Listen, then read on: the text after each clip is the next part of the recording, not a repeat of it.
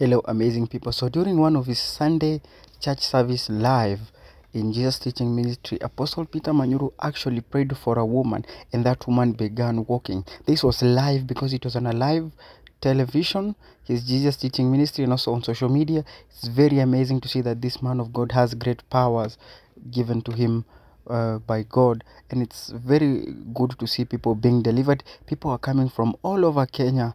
Many people have been delivered, many people have been prayed for, and their life is going better. Why should you not go to? You can go to a place anywhere you feel comfortable, your life is being changed, as in, why should you suffer anyway?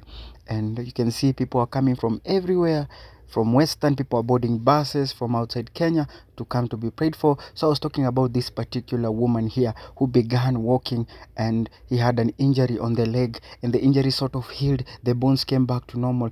That's amazing. Thank you for watching. Kindly subscribe